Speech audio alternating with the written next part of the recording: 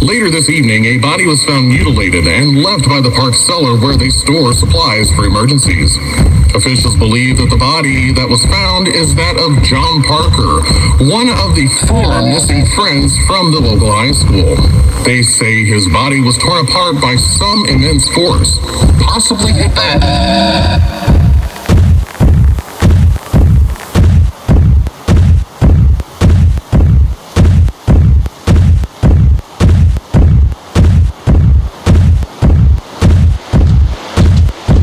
Freddy doesn't know when to give up. He thinks he can save his friends. Get a load of this guy. If I were him, I would just lay down on my back and wait. Wait for what you say? Do you will find out.